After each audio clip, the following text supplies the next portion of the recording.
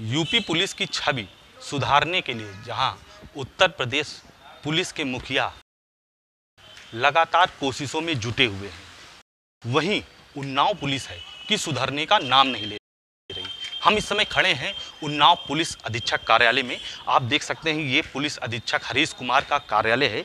यहाँ पर वो लगातार जनता की फरियाद सुनते हैं और यहाँ पर ज़िले के जो पुलिस महकमे के सारे अधिकारी यहीं पर बैठते हैं। लेकिन यहाँ की जो पुलिस का मुख्यालय है, वहाँ की तस्वीरें बेहद चौंकाने वाली हैं।